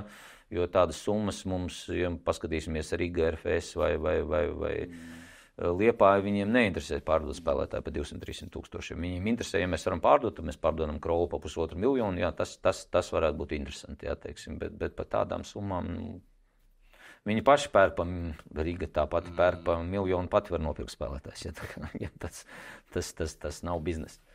Kā labi, dēls sporto, skaidrs, ka pašam Fāterim ir sportošana. Es domāju, vairāk par prāta spēlēm, atceroties, ka šādi un tad pa vakariem uz pokeru būs pazudis. nu, tā ir, redzi, atkal tāda, tāda interesanta tēma. Nu, Šobrīd federācijā tādā bija tik daudz, ka uh, tie vakari pokeram ir, nezinu, vienreiz nedēļā varbūt sanāk kaut kur. Uh, birojā.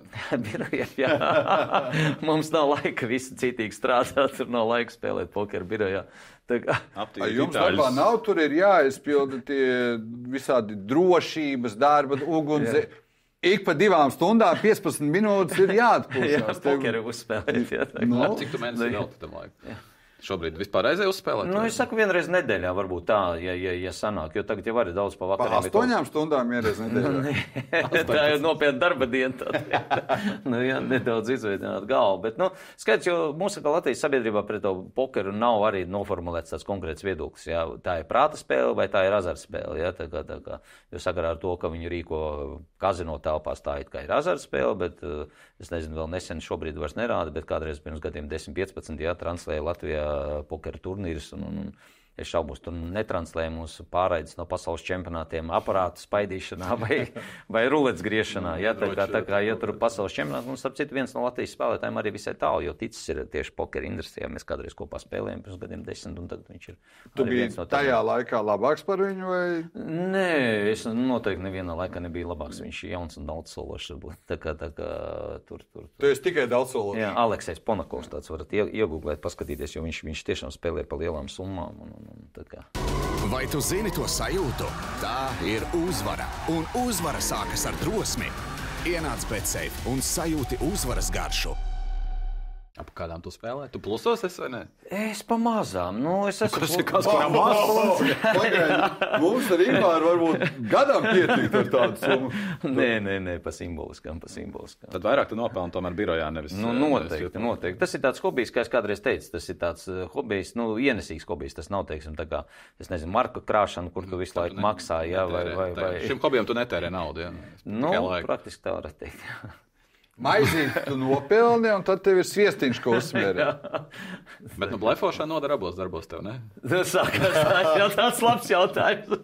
Nē, nu, futbola, futbola federācijā nav daudz ko tur blefot, jo tur jau daudz ko viss, viss ir pārskatāms. Visi, visi dati redzami. Kā, to atnāc pie žurnālistiem. Jā pie seniem draugiem no sporta. Jau nodara.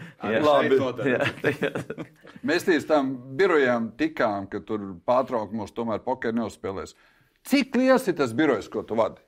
Birojas, atklāti sakot, ir ļoti mazs. Tas tajā birojā ir viens cilvēks, tāpēc arī vienbrīd bija sākumā tas nosaukums, lai tā. Prezidents palīgs vai? Jā, re, respektablāk, varbūt izklausītos, tā biroja vadītājs, jā. jā, tā kā, bet, jo tā kā mums ir visiem tur valsts prezidenti, tur kancelēja vai ministrs prezidenta birojas vesels, jā, tā kā mums arī likās, o, federācijas biroja vadītājs, bet, nu, tajā birojā es jau pats, pats tikai sev, bet, nu, tāpēc tagad mēs pēdējā laikā arī kaut ko rakstam prezidenta palīgs, nu, lai būtu tā, palīgs varbūt tā skan atkal mazāk mazāk respektabli. Tāpēc vienkārši nu, tā, tā ir tāda vārdu spēle, tur nekas lielais birojs nav. Jā. Varbūt drīz nebūs ko vadīt, ne drīz vēlēšanas.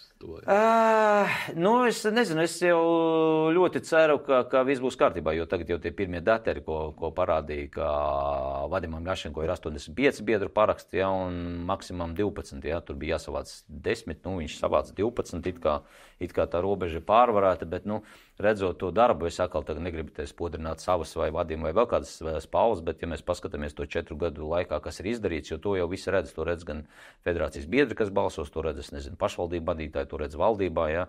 Nu, es nezinu, citās sporta organizācijās tur visur redz, ka futbola federācija ir nu, arvien nopietnāk kļūst. Tas nav tas bardaks, kas bija pirms četriem vai sešiem gadiem, ka gan pašā futbola federācijas iekšienē, gan uz ārā bija visādas problēmas, kā, kur mums bija lietas vidā, policijā, tur, teiksim, UEFA bija naudas apturēts un kas tikai tur nedarījās. Droši, droši, droši. droši. Cik vajag, es gribēju tikai paprasīt, mēs dodam, mēs atkal te starp žurnālistiku un sabiedriskajām attiecībām. Cik tev vajag laiku pastāstīt par labajām lietām? Labajām labi, lietām. noformulē, lūdzu. Nu. Tam man jāņem ir vesela prezentācija. Es tev varu stundām stāstīt. Es domāju, tāpēc es Jā. gribēju, lai es nebūtu nu, pie tās vai sliktākās vai sāpīgākās. Uh, Futbola stadions tiešām, jo tās labās lietas, ka tiešām, ka to ir pastāstīt, bet tā lieta, kas ir iebremzējusies, nu, ir tas stadions. Nu, 23. gadā uh, prezentēja, kā tu pats esi stāstījis, varbūt kā pa ātru. Varbūt federācijā nebija sagatavots līdz galam futbola stadiona būvniecības projekts, ja es pareizi izsāku. Mm. Tā izskaitā līdz galam nebija sagatavots projekts eh, prezentējot saimā. Kas šobrīd ir ar stadionu, un vai Roberts Uldrichs tajā stadionā sitīs vēl vārtus Latvijas izlases kraklā? Nē, redziet, par to stadionu runājot, ir jāatgriežas varbūt tāds viens solis atpakaļ, to, ko daudzi varbūt nezina, un noteikti arī jūs nezināt. Eh, Kad eh, Vadims Ļašenko nāca kandidēja uz prezidenta amatu, ja, bija izstrādāta programma eh, Latvijas futbola attīstība 2024. Ja. Jā. Un tur bija sadaļas, tur bija 11 sadaļas, spēlētāju attīstība, klubu attīstība, tiesneša attīstība, treneru attīstība un arī infrastruktūras attīstība. Un, ja tu atvērsi to infrastruktūras attīstības to, to atvērumu, Tur nevienas tāda vārda nebūs par stadionu. Vispār neviena vārda. Saprot, nu, tur ir eh, kas mums jātīsta. Tas, tas, kas tiek darīts, jā, mākslīgai laukumi jānomaina, kas Rīgā tika nomainīti pie visām skolām, jā, tagad vadiem vadībā. Jauni mākslīgā laukuma sadarbībā pašvaldībām pa Latviju tiek būvēta haļu programma, kas vispār teica daudz, ka nav vajadzīga. Parunā ar liepājas cilvēkiem, jo vai tā haļu programma ir vajadzīga vai nav vajadzīga. Jā. Jā. Tās lietas tiek īstenotas. Un tas stadions bija tā kā tāds, es nezinu, tāds, nu, ķirsīts varbūt pārāk viegli teikt, bet tas bija tā kā tāds papildus, papildus bonus, ko mēs jau it kā sākām jau pamazām kustināt, jo, jo viņš ir jākustina. Skaidrs, ka tas arī ir sasāpējis jautājums, bet saprot, tobrīd futbolā bija tik daudz tie sāpīgie jautājumi, ka pie tāda liela jautājuma it kā mēs atlikām viņu uz vēlāku laiku. Tāpēc, ka jāatrisina tas, tas, tas, jo mums ir, nu, tu pats redzi, nacionāla Tas izlase. joprojām Jā. ir tikai bonus. Jā, bet, jā, bet nē, nē, nē, bet tagad jau daudz kas ir izdarīts. Tur jau ir tā lieta. Saprotu, v- sākumā bija viens vācu arhitekts, jau, kas iekustināja jau to darbiņu, iesāka. Ja. Tagad ir nākošie, ja, kas, kas ā, sadarbībā ar Rīgas domu tur tiek veidot stradi- stadionu koncepcijas. Nezinu, kādā stadijā viņi tur ir, kur viņa, kurā tur komitejā, jo tas jau nav tā, ka mēs rītā apsēžamies, paskatāmies, ā, ir ok, un viss, un sākam rītdien būvēt. Ja. Tu pats saproti, ka būvniecības process ir visas atļaujas, visas saskaņošanas, viss, viss, viss, tā kā jāaiziet visām tām iestādēm cauri. Un, un, un, un tas uh, viens no tādiem nozīmīgākajiem soļiem, man liekas, šajā sakarā ir tas, ka tika panākts tā, ka valdība akce- akceptē, ka tas ir valstiski svarīgs. Ja, tas, jo nevienā brīdī neviens nekur neteica, ka mums ir jābūvē, jābūvē stadions. Es pat esmu dzirdējis tādu uh, absurdu skaļu viedokli, ka futbola federācija, ja viņiem vajag, lai viņi iet uz stadionu būvē. Ja. Saprot, nu, tādu pat. Ja. Jo Jā. te kā reizi es nedomāju, ka es neesmu Futbola federācijas prezidenta palīga palīgs. Jā. Bet man, noskatoties to prezentāciju, bija tās, man bija tā sajūta, ka es atvainojos, Rīga un valdība prasīja, a, ko jūs, a, kas tur, a, kāpēc nav tas, respektīvi, ka to stadionu vajag tikai futbola federācijai, nevajag Rīgas pilsētai. Un nevajag īsti valdībai. Nu, tāda man bija sajūta. Nu, redz, tagad mēs šo sajūtu jau pamazām sākam mainīt. Tas, ko es teicu, arī ka viss tas, tas futbols jau sāk mainīt, gan tas sabiedrības ar domāšanu. Nu, ka tas futbols nav tikai kaut kas, kaut kur tur sētā padzenā bumbu, un mēs ieņemam 130 vietu. Ja. Mums ir daudz uh, zēnu, Tad daudz meiteņu. Rīgai. Nu, uh, protams, ka vajag, jā. Tāpēc jau ir. Nu, vajag mums rīznieki, bet ir sajūta, tagad tev tu 85 Jautājums, vai vajag balsis vajag, ir ā, Dašenko 12 pagaidām paraksti Krivuņicam. Tā tad varētu būt, ka Dašenko turpina un turpina prezidenta palīgs. Skaidrs, ka Rīgai vajag, ir sajūta, ka vajag Rīgas domē, Rīgas mēram, amatpersonām. Nu, tu vari pār, pār, pārprasīt Vilniņu ķirsim, bet es domāju, ka Vai vajag. tev ir sajūta, ka Man ir viss kārtībā? man ir Vai sajūta. vajag valdībai? Valdībai arī, jo redzi, mm, uh, Pieris saraucās labi, viss Pre. Premjerministrei uh, dēls spēlē futbolu visai labā līmenī. Viņš, starp citu, nesen. Vi- viņš nesen, 90. gadi. viņš nesen, nesen ar Horvātijas akadēmiju parakstīja līgumu, ja pārcēlis pat uz turieni. Kā Viņš spēlē, es negribu pateikt, kurā jauniešu vecuma izlasē, varbūt nokļūdīšos tur Jā. U- U19 vai U18. Ja, tā, kā, tā kā pat tādā līmenī mēs jau esam piesaistījuši. Ja, tā kā sen jau strādājat, iedarbinājuši, jā. Tā neatbildēts uh, viena jautājuma daļa, vai Roberts Udrichs sitīs šajā stadionā golus izlases kraklā. Nu, tas ir atkarīgs, lai tiem cilvēkiem nezust tā vēlme un tā enerģija. Jo saprotu, jo futbola federācija jau vienu viņu mēs virzam. Skaidrs, ka mēs virzam, darām, ko varam. Ja? Kāda ir tava sajūta, sitīs vai nesitīs? Eh, Balts, melns, jā, nē. Uzcels līdz- veterānu vai īsti? Nē, Uzcels līdz brīdim, kad viņš vēl būs. Nē, man ir sajūta, ka uzcels. Man ir sajūta, ka uzcels. Jo viņam Tā šobrīd ir 25 gadi, tā kā es domāju, ka varētu uzcelt. Nu, Tā tad, 5, ā, 6 jā. gadu laikā. Vieta ir, ir Jā. vēl nemainās. Tā, Jā. jā. Tur vēl peldēja. Tur. Tātad Nē, projekts. nē, nu, jā, es Ir ir Lucavs Lucavs vietas. Nu, tu piekrīti, ka jā, jā, jāveic ar aptauju, jāizanalizē visi. Jo Lucavs salā arī skaidrs, ka nav izdevīgi. Tur ir kaut kāda plusa, mīnus, jāizsver katrā vietā, kāda ir plusa, kāda mīnus. Lucavs salā to plusu ir visvairāk un mīnus vismazāk. Askot, tas man bija, kas pārsteidz, ka tas bija Rīgas pilsētas un saimes pārmetums, ka nav līdz galam izpētīts, nav līdz galam sagatavots un tā tālāk. Nu, tad nesauciet man, nu, būsim godīgi. Nu, tik daudz uh, Askodas arī procesu pārzina, ka parasti saima vai Rīgas doma aicina.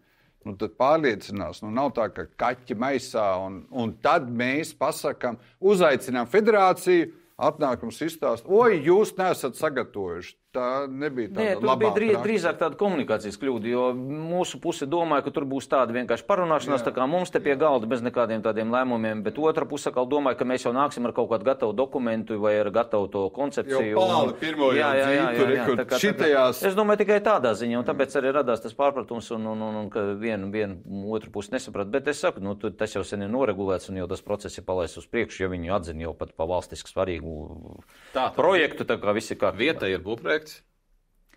U, tu, man sāks tik sarežģīts jautājums. Es kaut ko Nē, nu, pie nākamā. Nav. ir? Uh, tas Nu, ir tas ļoti bez tā nekas Jā. nesanāk. Nē, redziet, atkal par to naudu ir atkal dažādi Lietu ārāps kaut kāds šeit ir. Lietumā Kauņa uz, uzbūvēja vienkārši par, par, par Kauņas pašvaldības naudu. Mm. Vienkārši paņēma un uzbūvēja. Tur federācija vispār neko neieguldīja. Mm. No, bet tā, nu, liekam, malā, tas ir tur aiz robežas. Tas ir ļoti labs piemērs. Nu, bet mums- Man patīk tāds piemērs. Nu, tad- Tad ejam uz viņu. Es jau pārspēju, Ķirsas pagaidām tā nepiekrīt, bet nedaudz pastrādās. Nav runa par ķirs. Tur arī kurš kā spēlēs, tur ir pēc tam sarežģījumi. Kurš spēlēs, spēlēs, kurš nespēlēs par jā. kalendāriem un tā tālāk. Jā, jā. Tur jau viss saistīts. Nē, nē, bet, ja nopietni runā, tas arī ir viens no tiem jautājumiem, kas arī paralēli tiek risināts. Jo arī ar to pašu investoru, tas investors jau arī nav cilvēks no zila gaisa. Jā, viņš ir arī ar FIFA, nezinu, kādā veidā saistīts, bet arī FIFA viņu ieteica, ja to, to, to, to cilvēku, lai ar viņu strādā. Un skaidrs, ka arī viņam no, no, no FIFA puses saka, iesaka strādājiet ar, ar Latvijas Futbola Federāciju, ka tur arī varam to kopīgi projektu īstenot. Nu, kā, nu, tur es domāju, nu, skaidrs, ka tur ir jāsaliek vairākas eh, puses kopā, ja teiksim, Rīgas doma nāk ar zemi. Ja. Vai tu zini to sajūtu? Tā ir uzvara, un uzvara sākas ar drosmi. Ienāc pēc sevis un sajūti uzvaras garšu. Eh, kaut kādi investori, vienalga vai šis tavs minētais vai kāds cits nāk atkal ar finansējumu, ja, un, un, un, un attiecīgi valdība vēl kaut ko piešpricē. Tāpat tas UFA ir gatava iedot kaut kādu naudu, jāsaliek viss tā naudiņa kopā, un tad, tad Vienkārši Futbola federācija aizsūta atkal Udriča mēnesi pokeru turnīru, kaut kur viņš atbrauc ar diviem čemodāniem naudas. Nē, tik Stadionam daudz, pietiek. liekas, pokerā nevar rītēt. Uz kādām likmēm spēlēt? atkarīgi. Jā, nu, tad kurā gadā? Mēs Nu, Pasaka prognozi, vienkārši pasaka prognozi. Nu, vienkārši uz durečku pasaka prognozi. 2030. nu, kaut kādā. Tomēr 30 jūs Nu, tikā. jā, kā savā 24. Nu, gads. nē, nē, nē. Tad nu, tomēr jābūt Roberts realistiem. veterānu mačos. Nu, realistiem. Nu, kāpēc viņš nevarētu, piemēram, 32. gadā, 34 gadu vecumā spēlēt? Nu? Pasties, kā Ronaldo spēlē, kā Messi spēlē. Nu. Ļoti labi salīdzinājums. nu, jā, nu, tā kā. Viss cieņas. Tā kā, nu, jā, nu, jā. Zin, zinot viņu lomu izlasē, ja ka bez viņa izlases paskaties. Tāda tā kā 32. jā. 2003. labi pierakstam. Tad uh, tiksimies pēc cik gadiem, pēc astoņiem. Galvenais, lai man nav vēl ar Jāni jāsadara kaut kas. Jānis noteikti atcerās derības par mūsu Turcijas spēli. Ja. Mums bija labs Jā. derības. jā. Vai Latvija tiks vai Turcija Eiropas čempionātā? Labas derības. jā. Jā. Tad šodien bez derībām. Šodien bezdarībām. Nē, nu te ir vienkārši. Tur, Pārāk ilgs tas termiņš. kas- es domāju, ka tā tad es esmu par to, lai ir. Es nedarētu pretī. Nu, lai es tur īkšķis, lai ir. Nē, bet tiešām nu, jācer, ka tā būs, jo tas stadions jau nav tikai futbola vai futbola federācijas vai vēl kāds lepnums. Tā varētu būt tiešām tāda celtne, kur uh, brauc arī skatīties vienalga tur turisti vai brauc uh, cilvēki no, no, no mazākām pilsētām. Atbrauc arī futbola federācijas office, arī futbola federācijas mm. muzejs. Arī pat uh, kādā vadītājiem savs kabinets. Jā, tā kā atšķirībā kā tagad, kad man nav savu kabinetu pat, jā, tā kā.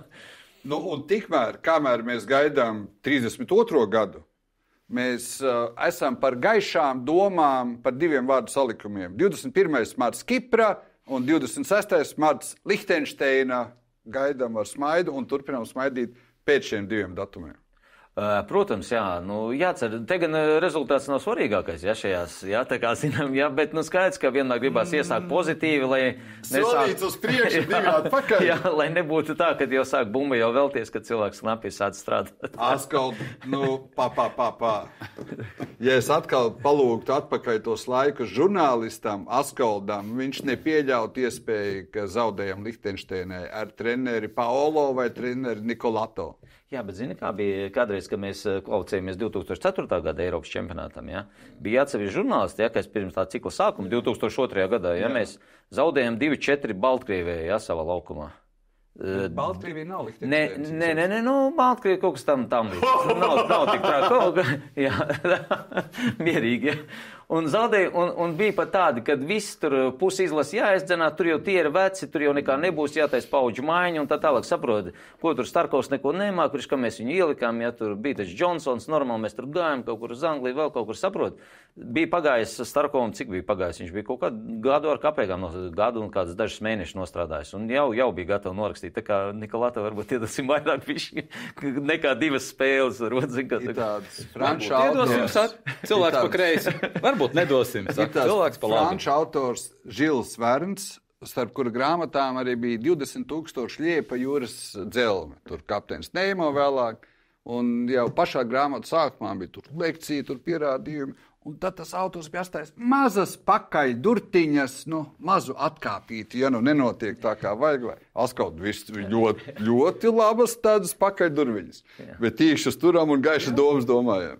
Nē, man galvenais, ja mēs jau domājam, mēs finišam, vienbrīd ieminējis, vai es basketbolu skatos, neskatos skaidrs, pasaules čempionātu gan arī viss skaties Latvijā, bet es biju aizgājis Latvijas Slovākijas spēlē, ja nu pat tās arēnā Rīga. Tur tas spēles rezultāts bija skaidrs jau, nu, pirms spēles sākuma. Būsim godīgi, ja teiksim, nu, Latvijas Slovākijas spēlē, tur futbolu, tad būtu citādāk. Ja. Bet man patika tas, eh, kā banki uzvedās. Es tiešām skatījos, jo viņš tiešām bija viss tajā spēlē, viņš diriģēja to komandu, viņš bija, varēja redzēt no viņa tā enerģija nāk. Man gribētos, lai arī līdzīgi, ka mūsu tagad ir itāļi, ka viņi arī iedos to papildus grūdienu, jo skaidrs, ka mums tie futbolisti plus mīnus būs tie paši. Ja tur tas starta 11. daudz nemainīsies. Nu, es ceru, ka paliks arī Roberts Uldrits viņa un viss būs kārtībā, ja tā kā, kad nevajadzēs man jums zvanīt, ja pēc, pēc pirmajām divām spēlēm stāvēt un teikt, ka jā, kā... interviju dzēšam ārā. Jā, un, tā kā, tā kā, tādā ziņā, lai, lai būtu šis papildus grūdienis, un es domāju, tā arī tie rezultāti neizpaliks, jo izlasēji vajadzīgs tāds, tāds grūdienis tā, tā kā šajā laikā. Nu, tad novēlēsim uh, Polo Nikolato, lai viņam izdodas tā kā Lukam Banki. Nu, faktiski viens pret vienu. Askol, nu, forši kā atnāca, parunājāmies par futbolu. Paldies, Beidzot, es... izdarījām kaut ko labu futbolam. nē, nē, jūs darāt daudz labi. Jo es, saku, jo, tā kā es jau teicu, man patīk tās, tās jūsu sarunas, kad ir vajadzīgi prioritārie sporta veidi. Mēs jau tagad bijām 20 prioritārie, tagad jau ir 15. Tā kā, tā kā drīz paies laiks. Tad nē, Roberts, ok, divi basketbols arī. Labi, kungi, paldies par sarunu. Paldies, ka klausījāties. Slēdzam iekšā, ka pēc nedēļas būs kaut kas cits un jauns.